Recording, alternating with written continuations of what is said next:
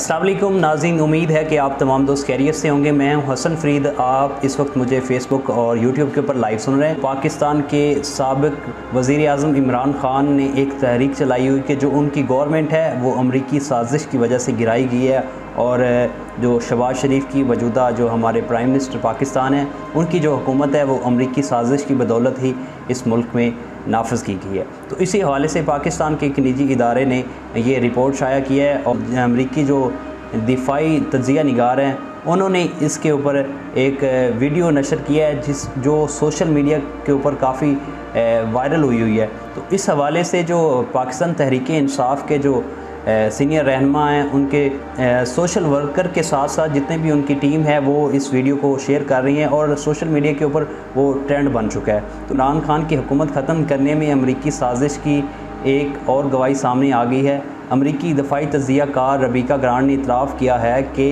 इमरान खान को अदम अतमाद से हटाने में अमेरिका का करदार था। रबीका ग्रांड ने अपने बयान में कहा है कि पाकिस्तान को अमेरिका मुखालिफ पॉलिसीज़ को ख़त्म करना होगा।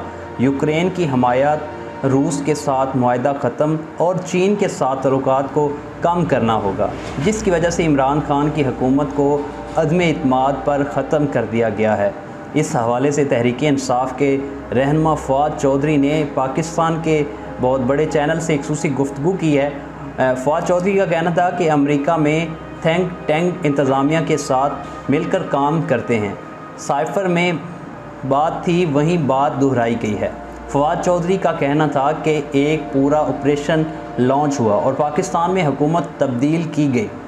दुनिया में कुछ अरसे से सुपर पावर्स का मामला ख़त्म हो गया था। पाकिस्तान वाद मुस्लिम मुल्क है जिसको, जिसकी छः लाख से जायद फ़ौज है। फवाद चौधरी ने मज़ीद कहा कि जरदारी शबाज शरीफ फजल रहमान बाइडन एडमिनिस्ट्रेशन के तीन स्टेजेस हैं। अमेरिका ने इन स्टेजेस की मदद से पाकिस्तान में नई हुकूमत लगाई गई है। अमरीकी टीवी पर दिफाई तजिया निगार ने जो कुछ कहा, वही चीज़ साइफ़र में थी। इनका कहना था कि पाकिस्तान में हुकूमत बदलने और गठपुतली हुकूमत की क्यों ज़रूरत थी? अमरीकी टीवी पर दिफाई तजिया निगार बताती हैं। उन्होंने ये बात की है कि जो हम बात कर रहे थे, वो अमरीकी जो तजिया निगार है, उन्होंने वाजिया कर दिया है। पाकिस्तान तहरीक इंसाफ की सीनियर रहनमा है शेरी मजारी। उन्होंने समाजी रबते की वेबसाइट ट्विटर पर अपने पैगाम में कहा है कि इमरान खान के ख़िलाफ़ अमरीकी हुकूमत की साजिश के मज़ीद सबूत चाहिए। उन्होंने एक तंजिया और इसको वाजिया किया है कि क्या और भी कोई सबूत चाहिए? तो अमरीकी दफाई तजिया कार रबीका ग्रांट ने इतराफ़ कर लिया। रबीका ने इतराफ़ किया इमरान खान को अदम अतमाद से हटाने में अमरीका का करदार था। असद उमर ने भी अपने पैगाम में कहा है कि इमरान खान के ख़िलाफ़ तहरीक अदम अतमाद कामयाब होने पर अमरीकी मौक़ देखें। वाज है कि तहरीक की कामयाबी की एक वजह इमरान खान की आज़ाद खारजा पॉलिसी भी थी।